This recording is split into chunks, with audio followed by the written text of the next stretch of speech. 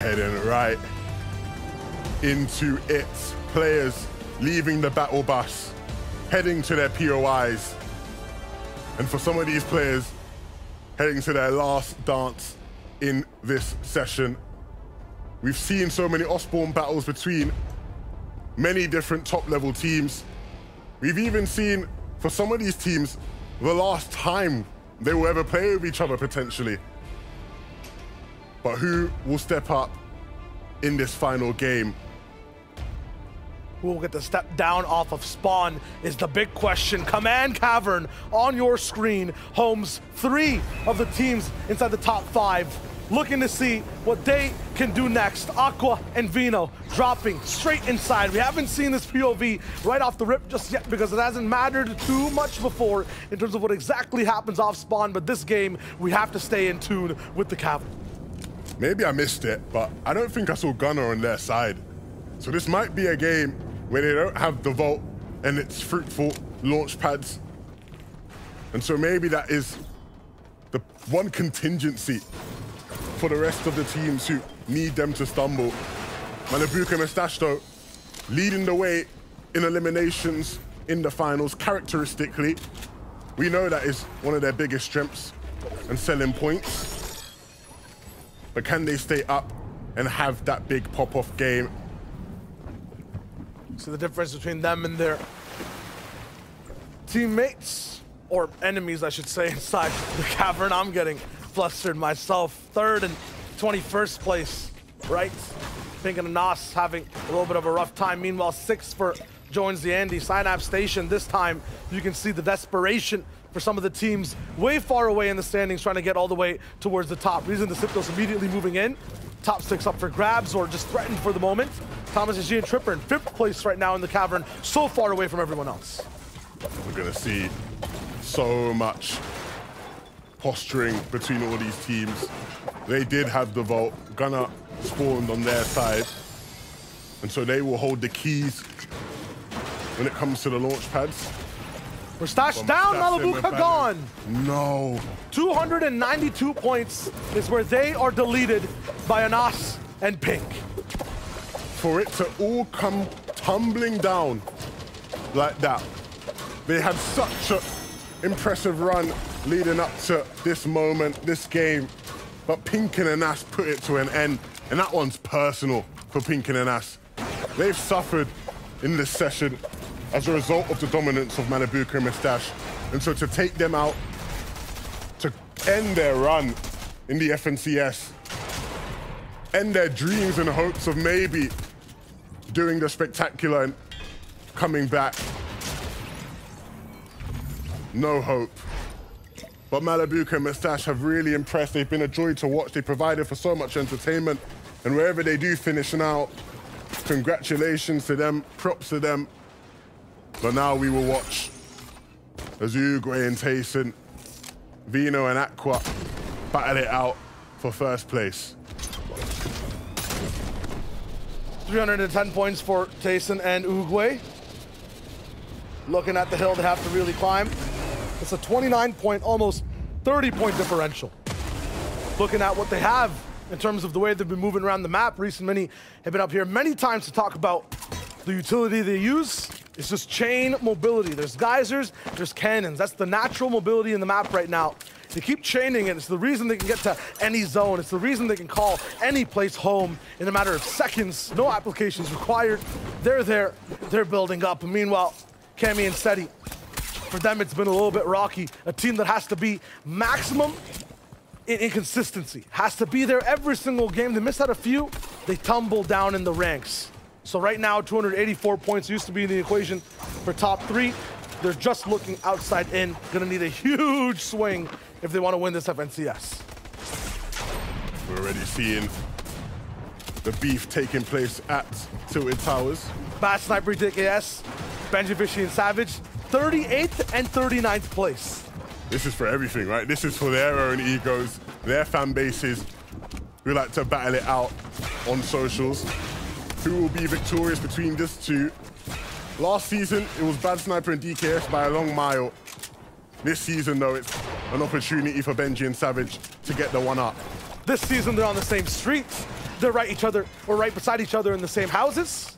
Savage and Benji looking for a single shot, and you can tell that it's personal in this fight. Usually, there's a huge rotation. This time, they're looking for the shots. DKS scratched up a little bit. Look at just the fury, the focus from Savage, the tracking, the beams, DKS down in the feed.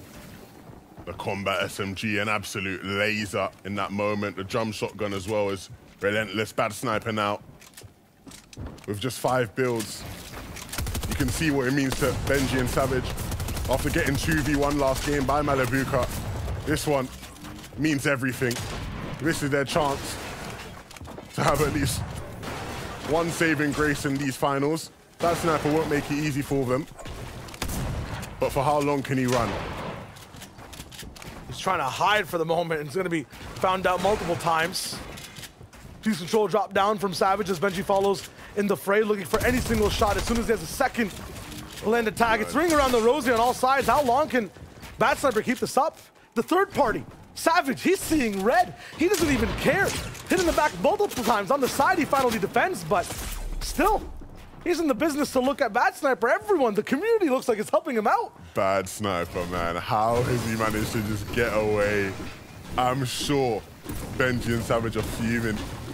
He just won't give them the inch, the space. And so now, having to resort to just getting their HP back up.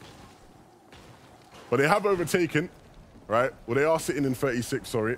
So they're moving up slowly but gradually in the leaderboard. We'll see where they end at this game. That's not the win for them. For them in this FNCS, Bad Sniper needs to go down. That That is what they want in this game. Queasy and Hen will be wanting everyone above them to go down. They've had a phenomenal comeback. They started the day way down below. They were in the 40s, Shy Wager, at one point. 40s. They were in the 40s at one point. I think they were 41st coming into today. Eighth now. Eighth. Craziness, bro. Absolute madness. But as much as it's not been an easy season for them, this is why you can't count them out. They are an FNCS winning duo, and they are of that level still. And finally finding their rhythm. We'll see how far they can take that into this last game. But when it comes to rhythm, Vino and Aqua will be looking to re-hit theirs. So consistent on the day. The most placement of anybody else. More victory royales than anybody else. They just look so good. Sometimes they don't make it off spawn. Sometimes it's an issue rolling in. But they see that top 10 Levin. It's a win. It's a second place. It's a third. I think their worst time in the top 10 has been in eighth place. And that's when they just started overall uh, on the day yesterday. That was their first game. After that, sky high. And they've just been villains for this whole lobby that no one's taken down. Yeah, they've made it look like such easy work, right? We talked yesterday about how coming into the FNCS, they were considered by most people the de facto favorites, and they have not let down at all. Provided for the entertainment, showing us why they are such a strong hype team, and showed us why Command Cavern is considered such a strong POI. Yeah, absolutely. One of the teams that's not landing there, though, just towards their own side, carving their own path, I think, every single season, and dubbing it with their names. Cami, Seti, fourth place right now. We talked about their consistency overall. Unfortunately, going down in one game, absolute issue for them in total. We'll have a similar zone that we've seen before inside the European FNCS on day one. Usually this one pulls up towards Sleepy. We'll see if that's a possibility, giving Hen and Queasy even more of an advantage. But you talk about Cavern teams, one with high expectations that have landed the mark a little bit. Thomas and Trippin on screen right now. I think with Thomas and Trippin, where they sit right now is exactly where most people expected them to. I think if we were to be able to find a way to uh, look at all the prediction lists made across the past week, I think more often than not, their average placement on those prediction lists would be fifth. Yeah. So to see them in fifth is just where they probably have been expected to perform. I'm sure they would have had high expectations for themselves. But nevertheless, neither an overperformance nor an underperformance from them. But we'll see. Maybe they can push their way up a tiny bit more. A bit of extra dosh is never something to laugh about. $300,000, by the way, for first place here today.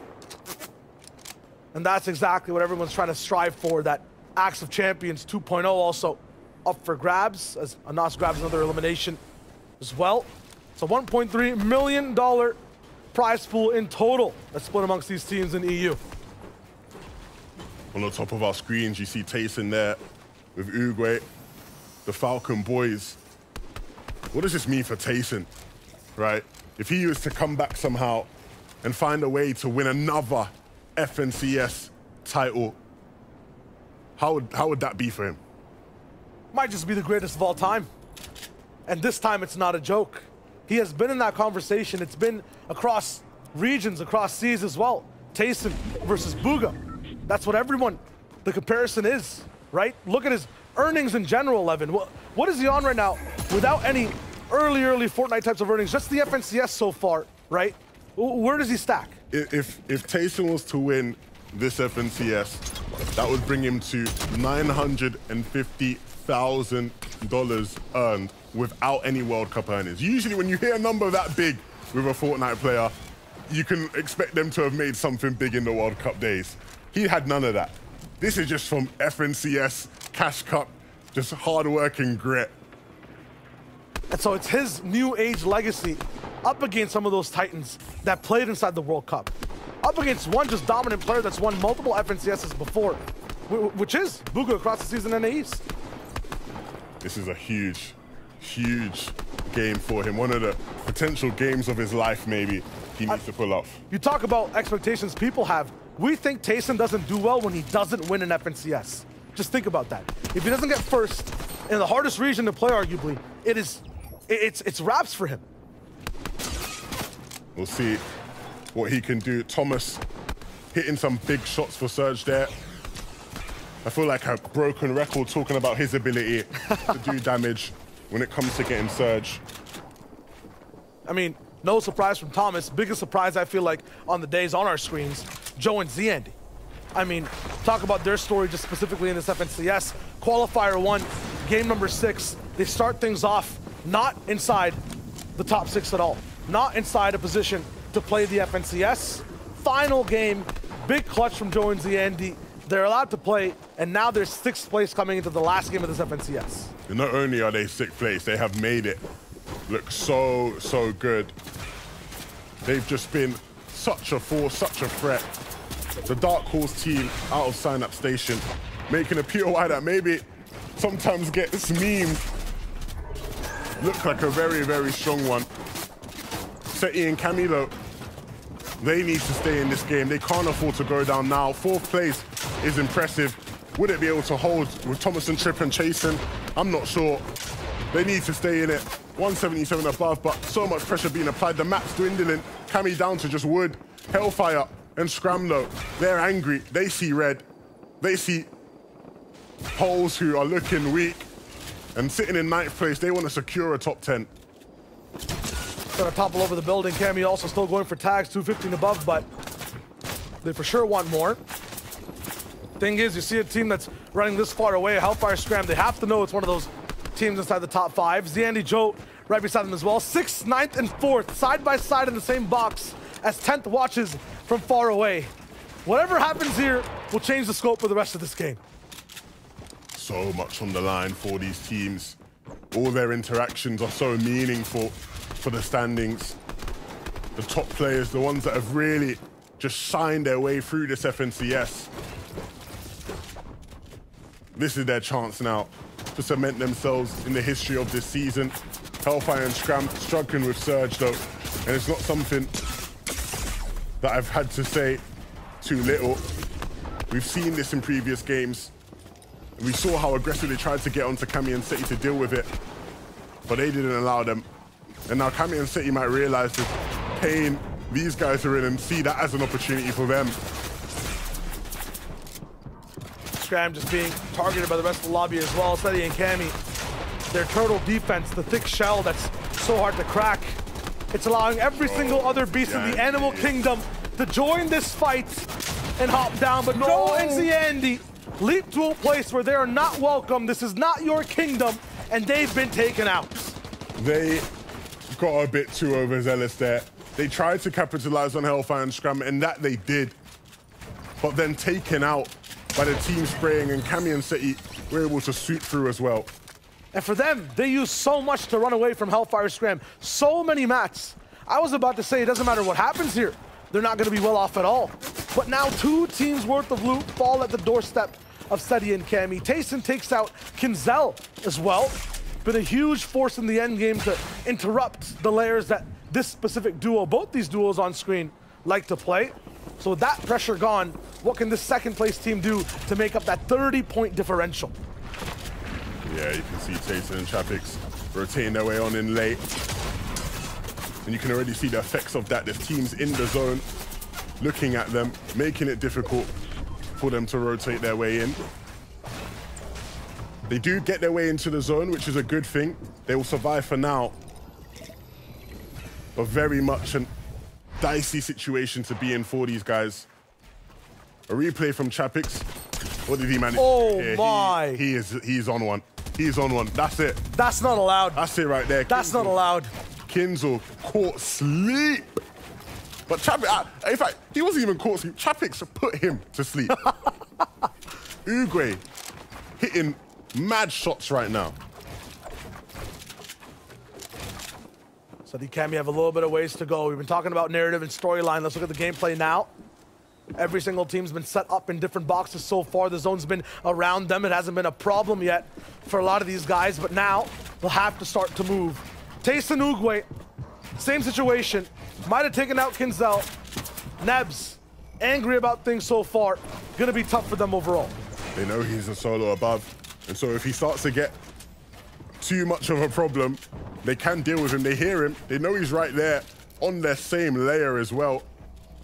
But they need to make sure that they don't make too much noise. There are players, again, who are in the zone, who can look towards them. And so you see the change, Oh. the point of attack. They tried to go from a different angle. They wanted to put Nebs in between the teams in zone and them. But there was another team ready and waiting, looking. So they'll give that one up and they'll make their way into the zone. And there's a pathway forward that, but it's Hen in front of them as well. Hen and Queasy. All these guys have such a storied past. Tayson, Uguay, Hen, all very familiar with each other. Queasy as well, you could say the same. Ex-teammates colliding in these final moments of the FNCS. The collisions that Tayson and Uguay have been taking so far have given them up towards 1,000 damage above Surge. They can just chill for the rest of this game. Second place as well. Just think about how to win the FNCS. Think about how to stop Vino and Aqua. For Seti, Cammy, playing defense this long, not having a voice. The mime equation for them has been the whole game. Silent, they're just 30 above. Meanwhile, Aquavino, looking at them, 400. They're They're, fine. strong. They're looking so strong. We're the zone pull in five seconds. That'll dictate if they're still the maestros of this game or just part of the pack in the orchestra. Aqua now taking tons of damage, but it's fine. They will have to move. It's not going to be a max one, but we'll have lots of people by their side. The team that's bullying them, one of the players just went down. If Aqua could hear that, they might even go for that box fight. Might be risky. Chulex Chicho, they're going to have their FNCS run stop here, but what a nice one it's been. Yeah, definitely came into this FNCS with not as high expectations as maybe they would have wanted, but nevertheless, they were able to put themselves in contention at times. Top 10 performance is not bad whatsoever, even with some of the trials and tribulations they faced this season. for Se- Seti Cammy, those trials, did they continue. I mean, you play defense for so long, you, you survive, you're not able to live. And that's the issue right now. They haven't had an effect, an impact, even a scratch on this entire server. And now they'll sacrifice their position to look for those tags. They'll be late in moving. Cammy now taken down inside the storm. He is gone. Fourth place so far. Said he cannot make the pad. And their story for this FNCS ends outside the top three. Another example of a team just stumbling short.